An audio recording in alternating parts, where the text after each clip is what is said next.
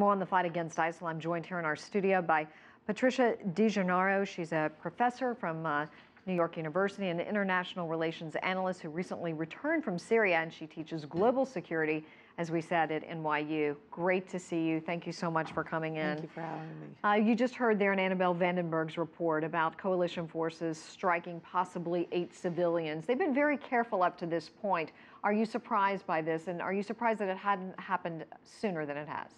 I'm not surprised by it at all. I think there were a couple reports earlier that there were some civilians hit um, outside of some of the areas in Aleppo and around that area. Um, none of these strikes are always exact as much as we'd like to think that always, you know, our air power is, is strategically mm-hmm. pinpointing exactly what the targets are.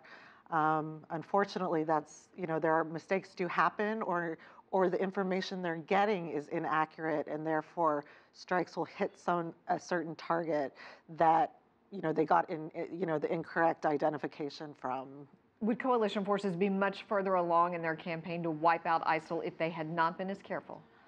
Um, that's a very good question. I mean, it's a very difficult situation right now to, to, as far as wiping out ISIL. I'm not sure airstrikes are exactly going to do it.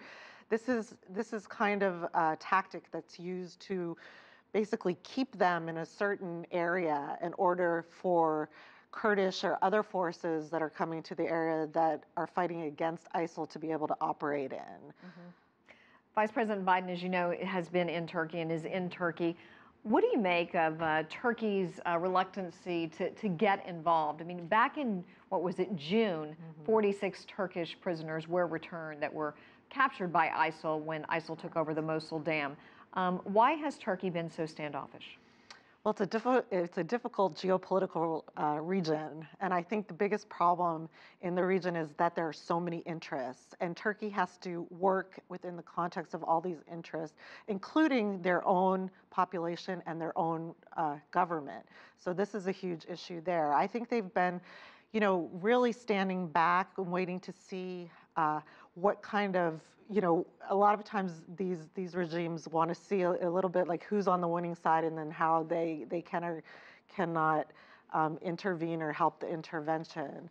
You know, Turkey has been anti-Assad, so I think they're going. They you know they've been apt to sit back and wait to see if they can actually depose the current government now and then enter into a larger scale intervention with the allies. But I think right now they're going to sit back and and just, you know, let, let the situation unfold a little bit eh, within the context of their own interests that they have right now. All right. Patricia DeGennaro, thank you so much. We really appreciate your time and your insight. Thank you.